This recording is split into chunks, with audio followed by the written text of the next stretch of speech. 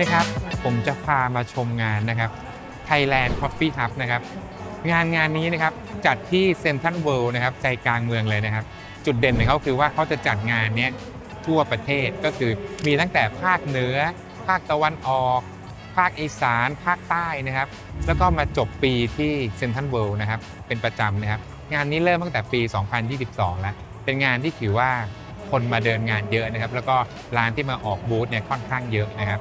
งานนี้นะครับจะเน้นไปในทางที่ผู้ซื้อกับผู้ขายเนี่ยเจอกันเองเลย ถ้าใครที่เป็นแนวโฮมบรูทำเองที่บ้านนะครับ ก็จะชอบงานที่นี่ แต่ถ้างานอย่าง Coffee Face เนี่ยก็จะเป็นขายอุปกรณ์เยอะ อาจจะเป็นผู้นำเข้าขายกับกิจการอะไรพวกนี้นะครับ งานเนี้ยที่ผมมาเดินดูนะครับ ทุกปีนะครับจะเป็นงานที่ค่อนข้างใหญ่นะครับ จัดนี่แบบชั้นหนึ่งนี่แทบจะเรียกว่าทั่วเลยนะแล้วก็มีชั้น 2 กับชั้น 3 อีกนะครับ ก็งานนี้เนี่ย ในปีนี้นะครับจะเป็นคอนเซ็ปต์เรียกว่า Coffee Universe นะครับเรียกว่าจักรวาลกาแฟนะครับ เดี๋ยวมาดูกันนะครับว่างานเนี่ยจะมีอะไรบ้างนะครับโอเคอาตามผมมาเลยครับอ่าโอเค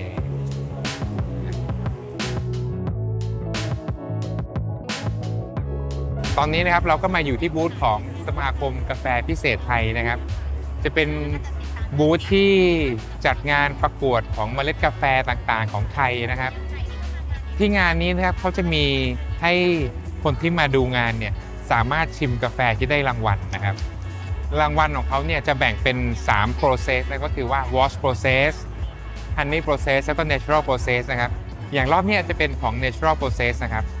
ก็คือคะแนนตามนี้เลยตั้งแต่ที่ 1 ถึงที่ 10 นะครับ ก็มันจะวันหนึ่งจะวนวนเป็นรอบๆนะครับ ก็มาลองดูนะถ้าคุณอยู่ทั้งวันเนี่ยคุณก็จะได้ชิม ทุก process เลยนะครับ แล้วก็ได้ชิมกาแฟจะได้รางวัลทุกตัวนะครับ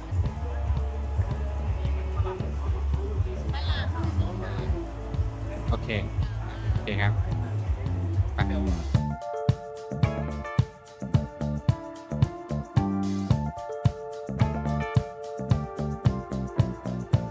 นี่นะครับเดี๋ยวเราจะมาอยู่กันที่โซน อันนี้จะเป็นโซนช็อกโกแลตนะครับ เป็นคราฟต์โกโก้นะครับ ก็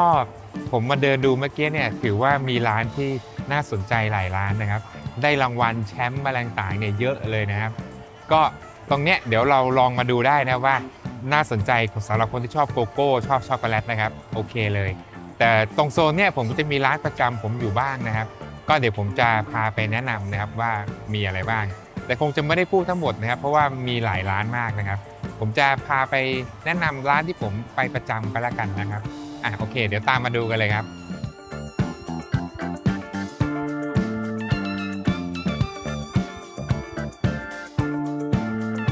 โอเคครับ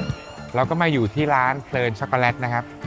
ก็ทุกงานนะครับก็จะเห็นร้านนี้เป็นประจำอยู่แล้วนะครับอะเดี๋ยวให้แนะนำตัวนิดนึงครับว่าร้านนี้มีที่มาที่ไปเป็นยังไงบ้างครับ ค่ะก็จริงๆ ตัวร้านตัวก็เริ่มจากที่พี่เจ้าของร้านนะคะ แข่งเป็นตัวรายการเนี่ยแหละค่ะ Grand Cacao Championship แล้วก็ ได้รางวัลชนะเลิศ ซึ่งรายการนั้นน่ะตอนนั้นจัดเป็นครั้งแรกปีแรกในประเทศไทยเลยก็เลยได้ตำแหน่งมาเป็นแชมป์คนแรกของประเทศไทยในรายการนี้ค่ะ ครับซึ่งตอนนั้นมันเป็นรายการแข่งชงช็อกโกแลตก็จะออกมาเป็นตัวเมนู Impact ซึ่งก็จะมีขายเป็นเมนู signature ของทางร้านให้ทุกท่านนะคะ ได้ลองชิมกัน โอเค จริงๆตัวร้านของเราก็จะเป็นคาเฟ่อยู่ที่จังหวัดระยองค่ะ ก็ไปแวะไปเยี่ยมเยียนที่จังหวัดระยองได้ แต่ก็มีออกบูธที่กรุงเทพเรื่อยๆค่ะ ก็มาดูกันได้ค่ะ โอเคครับ ขอบคุณมากครับค่ะร้านนี้นะครับผมจะไม่ค่อยพลาดนะครับเพราะว่า ผมจะมากินทุกครั้งเหมือนกันนะครับ อย่างตอนนี้มันจะมีเมนูหนึ่งซึ่งผมชอบก็คือเป็นสลัชชี่นะครับ เรียกว่าคนที่ชอบทานกาแฟแล้วไม่กินหวานเนี่ยก็จะชอบผมคิดว่าน่าจะชอบอันนี้นะเพราะว่ามันจะไม่ได้หวานเกินไปนะครับ ก็ทุกครั้งเลยผมไม่เคยพลาดเอามาแก้วหนึ่งด้วยครับนี่ครับ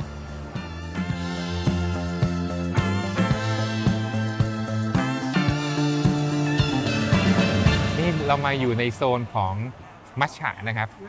ในงานเนี่ยจะมีโซนที่เป็นของมัชฉะด้วยนะครับ มีอยู่ประมาณหนึ่งนะครับ ไม่ได้เยอะมากแต่ถือว่าเป็นร้านสเปเชียลตี้มัชฉะนะครับ ถ้าใครสนใจมัชฉะก็มาลองดูได้นะครับ มีประมาณนี้นะครับ ลองดู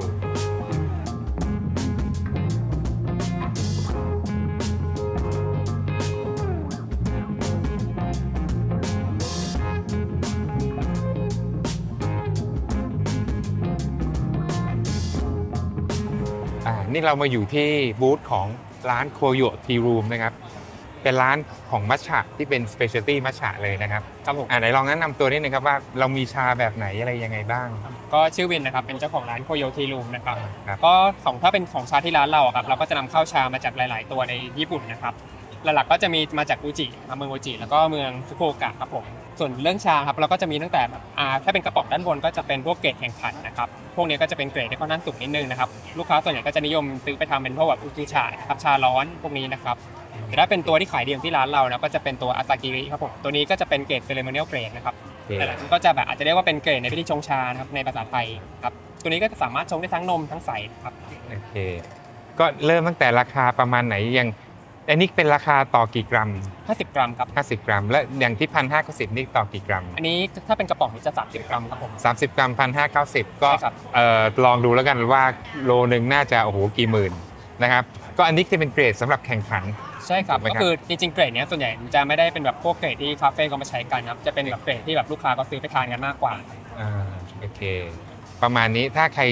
ชื่นชอบมัชฉะนะครับ ก็มาลองดูครับบูธนี้ได้นะครับโอเคขครัอบฝากขอบคุร้าณนมากได้ไหมครับ ได้ได้เลย ครับผมก็ถ้าเป็นของที่ร้านเรานะครับจะอยู่ที่พุทธมณฑลสายสามนะครับในหน้าร้านเราก็จะมีพวกขนมญี่ปุ่นทำสดด้วยครับผมโอเคยังไงฝากร้านด้วยนะครับโอเคครับ ขอบคุณมากครับ ครับ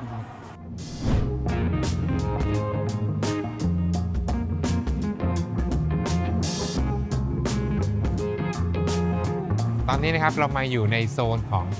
งานที่เรียกว่า Sip Inter นะครับ โซนนี้นะครับจะเป็นโซนที่รวมกาแฟนานาชาติกันแล้วกัน เรียกว่ามีของหลาย ๆ ประเทศนะครับมาอยู่ตรงโซนนี้นะครับ ก็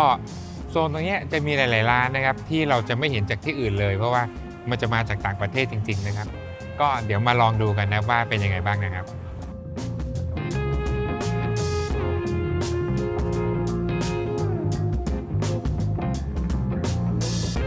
ตอนนี้นะครับเรามาอยู่ที่ร้านชโลบานะครับ จะเป็นแนวกาแฟใช้ทรายแบบนี้ก็คือของประเทศตุรกีนะครับ เดี๋ยวเราจะมาดูกันนะครับว่าขั้นตอนเป็นยังไงแล้วเดี๋ยวเรามาลองชิมกันว่าเป็นยังไงบ้างนะครับ สวัสดีค่ะ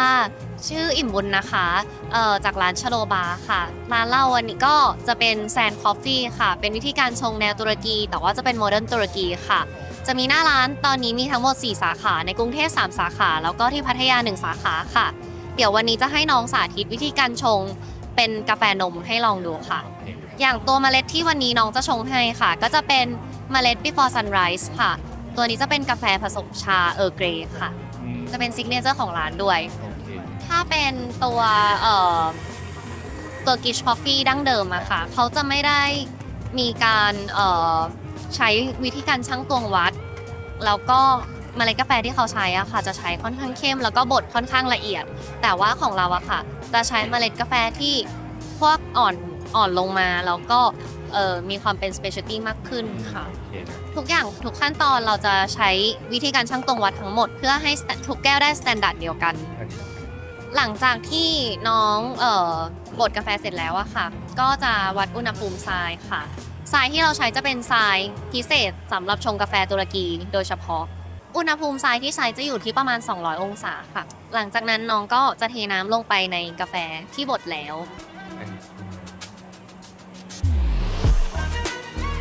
ในขั้นตอนนี้ค่ะน้องก็จะเอากาแฟที่อยู่ในหม้อต้มค่ะ ไปแช่ไว้ในทรายร้อนค่ะ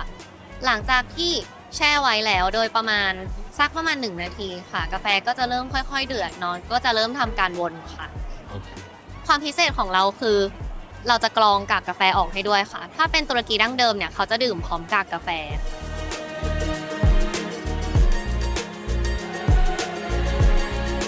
อันนี้น้องก็จะเริ่มทำการวนค่ะชาค่ะกาแฟก็จะเริ่มค่อยๆเดือดขึ้น เนี่ยค่ะพอกาแฟหลังจากกาแฟเดือดปุ๊บ เราก็จะยกแล้วก็เอามากรองค่ะ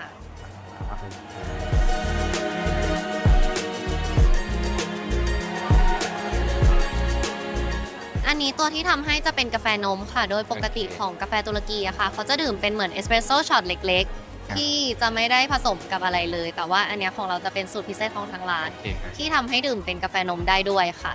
อะเดี๋ยวลองดู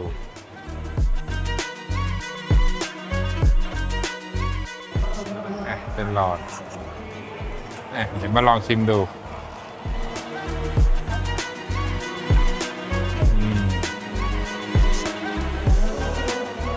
ก็ดีนะครับ มาลองชิมดูได้ครับโอเคครับ ตรงนี้นะครับเราก็จะมาอยู่ที่โซน เรียกว่าจะเกือบๆจะตรงกลางของงานก็ได้นะครับ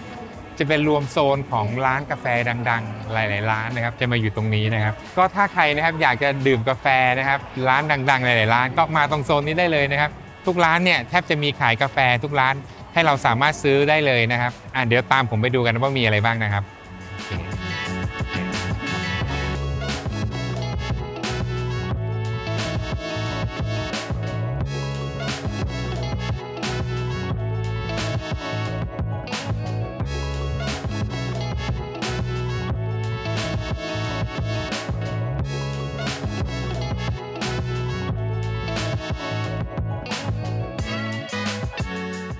ในงานนี้เราจะเห็นไฮไลท์ตัวหนึ่งที่มาใหม่นะก็คือ X Bloom Studio ตัวนี้นะครับ เป็นเครื่องดิฟต์อัตโนมัตินะครับ ตัวนี้นะครับ ก็ตัวนี้อยู่ที่ผมแล้วนะครับ จุดที่แตกต่างกับ Fellow Iden นี่ยก็คือว่าตัว X Bloom เนี่ยจะมีเครื่องบดในตัว ก็เดี๋ยวยังไงเดี๋ยวไปรอดูติดตามดูนะครับว่ามันมีอะไรแตกต่างกันบ้างนะครับ มีข้อดีข้อเสียยังไงนะครับ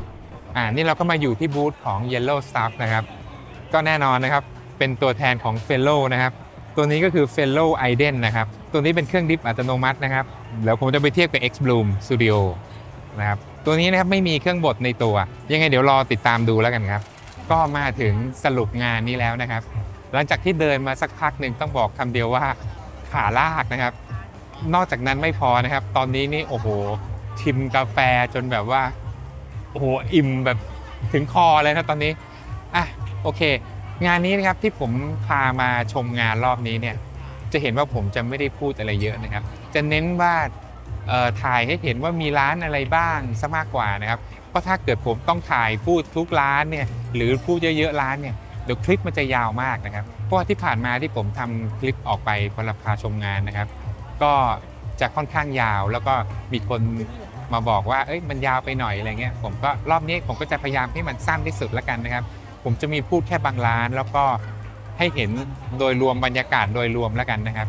ร้านที่มาออกบูธนะครับ ถ้าใครที่เดินงานอยู่ประจำเนี่ยก็จะเห็นอยู่แล้วว่า ร้านที่จะมาออกเนี่ยก็จะเป็นค่อนข้างจะเป็นร้านเดิมๆนะครับ ก็คนที่มาซื้อกาแฟประจำก็จะรู้กันดีอยู่แล้ว งานนี้นะครับจัดที่เซนทันเวิลด์นะครับวันที่ 2 ถึงวันที่ 8 ตุลาคมนี้นะครับ ถ้าใครที่เป็นสายกาแฟนะครับ จะมาชิมกาแฟมาซื้อกาแฟไปทำที่บ้านนะครับ รับรองงานนี้ไม่ผิดหวังนะครับ มาได้เลยครับ แล้วก็มีทั้งโกโก้ แล้วก็มีทั้งมัชชะนะครับ ก็ประมาณนี้นะครับ ปีนี้นะครับงานนี้น่าจะเป็นงานใหญ่สุดท้ายประจำปีนี้แหละนะครับ ก็พบกันใหม่ปีหน้า เดี๋ยวผมจะพามาชมงานใหม่นะครับโอเคขอบคุณมากครับ